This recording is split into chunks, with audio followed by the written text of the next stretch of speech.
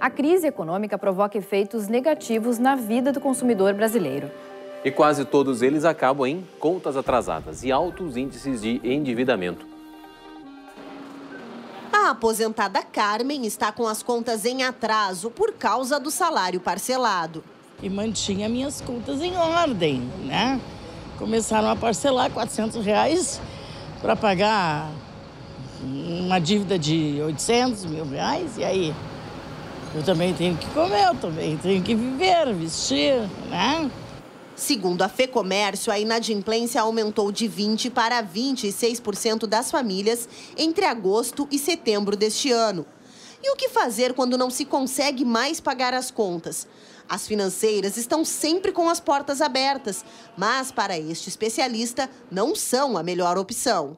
Primeira regra: paga as contas que têm juros e taxas mais elevados, como cartão de crédito, cheque especial, etc. Fuja disso aí, fuja. E busca, talvez, uma alternativa de um, um financiamento consignado. É o mais, é, que tem um, um juro mais acessível.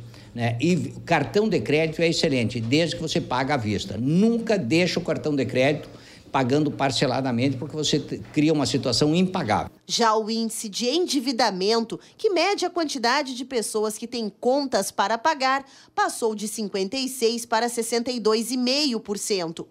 Este marcador é importante porque a parcela a vencer no cartão de crédito ou no financiamento de um carro ou imóvel pode se transformar numa dívida amanhã.